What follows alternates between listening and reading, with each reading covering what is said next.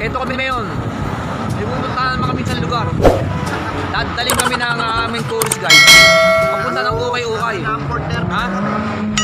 Namport terminal na kali. Ah. Dito po kami sa Nova Vizcaya. Panahon dito ngayon tag-init. Taginit pero nakajacket. Malapit nang ah, dumating ang tag-yelo. Tsaka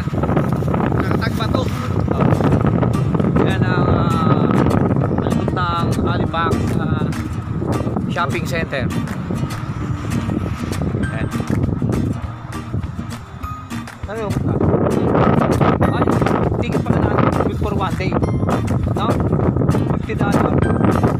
Dito na yun. Like and subscribe lang po para sa mga uh, taga-followers.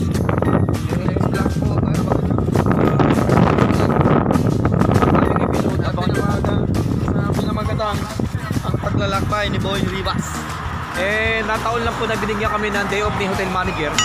Sunday. Kaya ito kami ngayon, naglalayag at palakat la, pakalat-kalat dito sa May iwan na tayo ng bato. Baka Baka lang, hindi ay mo ipa sila.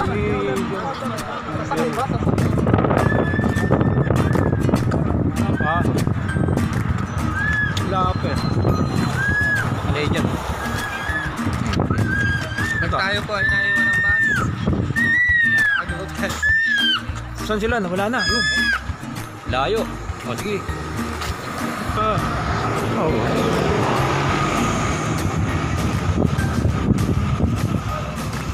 bawal manutok ng pero sa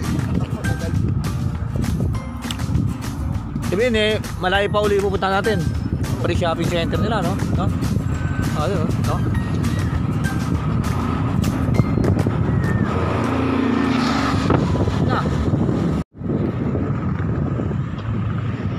Boy, sabi mo, papunta na uli na. Nandito kami ngayon. may best, may best buy pala dito eh. No?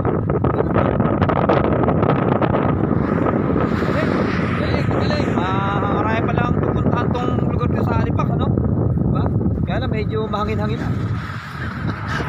no? Malamig, malamig. Hindi ka alakas eh.